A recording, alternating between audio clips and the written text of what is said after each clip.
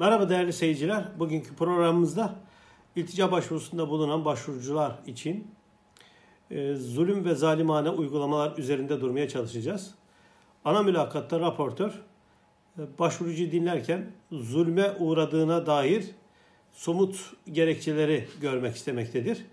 Dolayısıyla başvurucular zulüm ve zalimane uygulamalarla karşı karşıya kaldığıyla ilgili ya da kalacağıyla ilgili bilgi ve belgeleri sunmaları gerekmektedir. O zaman zulüm nedir ya da zulmü ve zalimane uygulamaları kanunlar çerçevesinde nasıl e, bakmaktadır raportörler? 28 Temmuz 1951 Mülteci Hakları Sözleşmesi'nde temel insan hakları dediğimiz yani 4 Kasım 1950 tarihinde imzalanan Temel İnsan Hak ve Hürriyetleri Sözleşmesi'ndeki insan haklarının şiddet ile ihlaline zulüm denmektedir. Öncelikli olarak temel insan hakları var. Bu insan hakları şiddetle ihlal edilmiş olacak ki buna zulüm densin. Bu insan hakları nelerdir?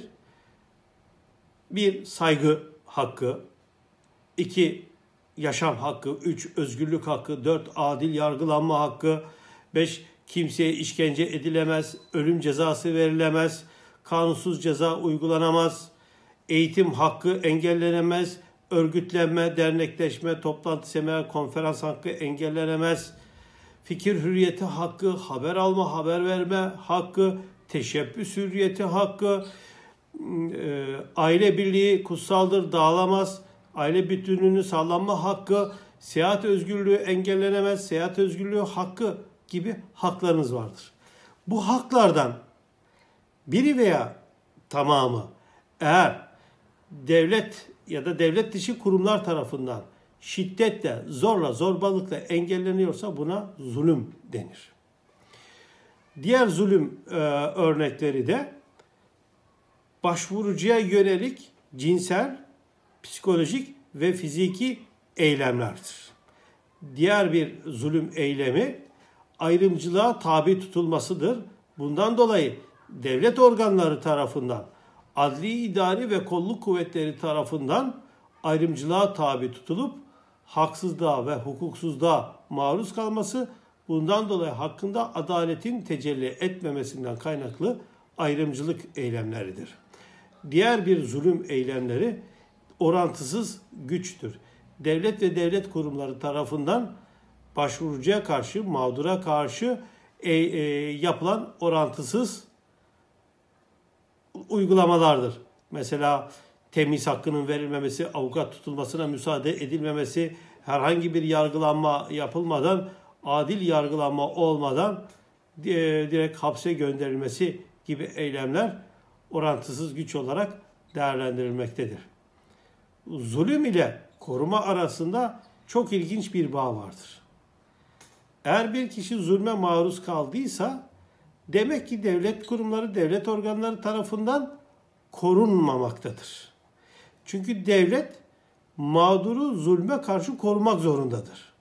Eğer devlet bunu korumuyorsa ve bunu kanunlar çerçevesinde, adli idari kolluk kuvvetler çerçevesinde korumayı gerçekleştiremiyorsa demek ki zulme göz yumuyor ve zulmü yapanlardan birisi de devlet veya devlet kurumları olmuş oluyor.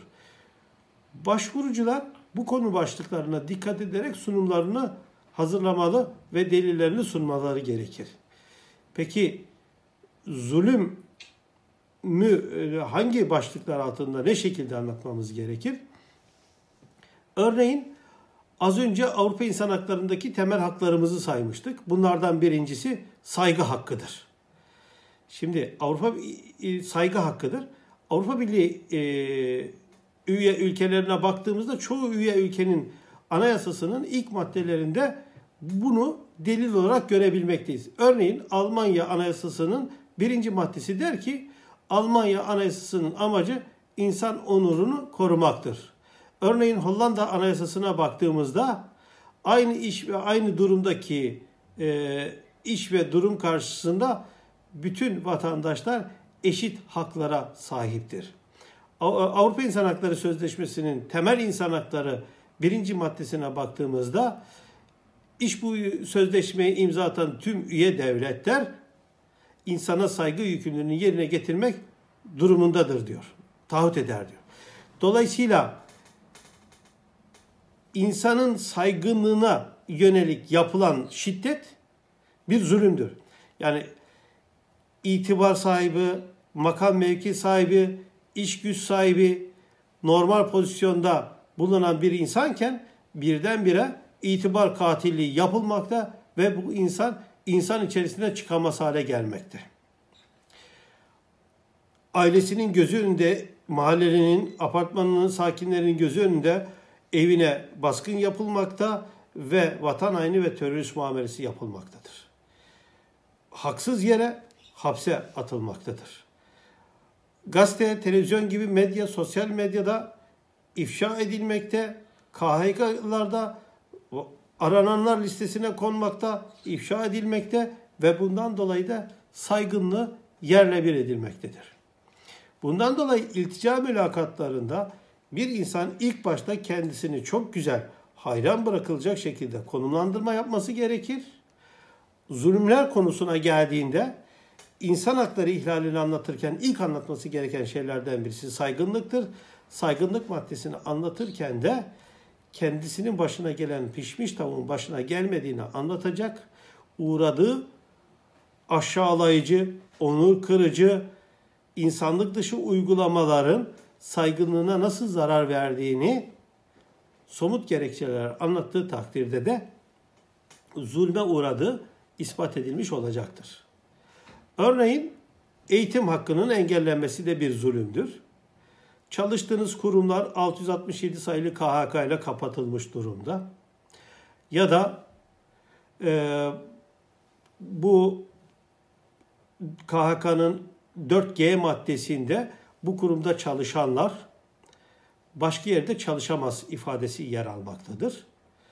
Ya da bu okullarda okuyan öğrenciler devlet okullarına ya da başka okullarına gittiklerinden dolayı vatan haini muamelesi görmektedirler. Dolayısıyla e, öğretmenseniz sizin öğrenci yetiştirme hakkınız elinizden alındı. Veli iseniz kendi çocuklarınızı inandığınız dini inanç ve felsefe düşüncesine göre yetiştirme hakkınız elinizden alındı. Eğitim haklarınızın nasıl elinden alındığını anlatmak için öncelikli olarak eğitimde yapmış olduğunuz güzellikleri, faaliyetleri, etkinlikleri anlatmanız lazım. Daha sonra bunların devlet zoruyla, zorbalığıyla hangi kanunlar çerçevesinde elinizden alındığını, hak etmediğiniz bu uygulamayı ve mağduriyeti anlatmanız gerekir. O zaman buna şiddet denir. Mesela bir zamanlar başörtülü kızların üniversite kapılarında coplanmaları, su sıkılmaları, gaz sıkılması, bundan dolayı polis kordonundan dolayı üniversiteye alınmamaları bu devlet şiddetiyle eğitim hakkının engellenmesidir örnek olarak. Mesela başka bir zulüm örgütlenme hakkının engellenmesi. Yani örgütlenme ne demek?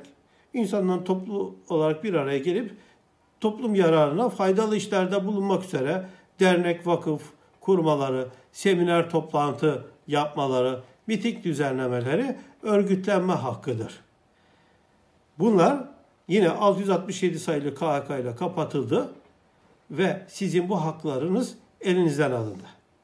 Ramazanda kumanya dağıtmanız, kurbanda fakirlere et dağıtıp toplumsal ayrımcılığı gidermeye, fakirliği engellemeye yönelik çalışmalardı. Kermesler düzenleyip öğrencilere burs vermeniz bunlar elinizden alındı. Dolayısıyla örgütlenme hakkınız elinizden alındığından dolayı bu da bir zulümdür. Haber alma, haber verme, örgüt e, e, faaliyetleriniz elinizden alındı. Bu da bir zulümdür. Abonesi olduğunuz dergi ve gazeteler kapatıldı. Dolayısıyla haber e, tek yanlı medya soykırımına maruz kaldınız ve hiçbir şekilde kendi duygu düşüncenize göre karşı düşünceden bir haber alma söz konusu değildir. Bu da bir zulümdür. Fikir hürriyetiniz elinizden alındı.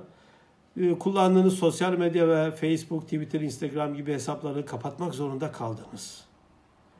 Bundan dolayı korktuğunuzdan dolayı kapatmak zorunda kaldınız.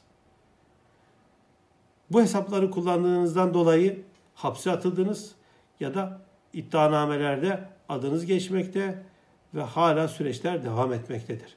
Bunların her biri birer zulümdür. Dolayısıyla bu zulümlere karşı korumasız kalmanız zulümdür aslında.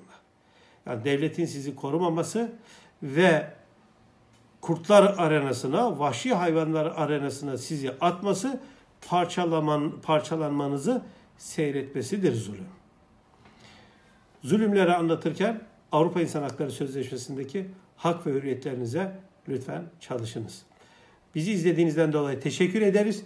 Bir sonraki çalışmamızda görüşmek üzere. İyi günler efendim.